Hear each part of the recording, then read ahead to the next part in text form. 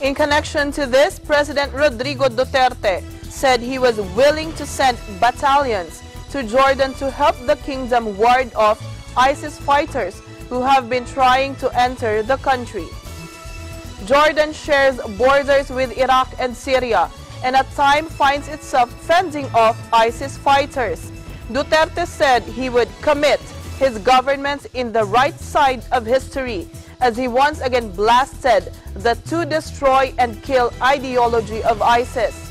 In May 2017, local terrorists who pledged allegiance to ISIS overran Marawi.